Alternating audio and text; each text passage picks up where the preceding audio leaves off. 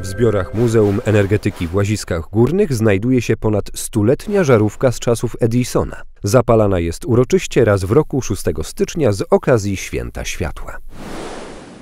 Do zobaczenia na szlaku. Szlak zabytków techniki województwa śląskiego.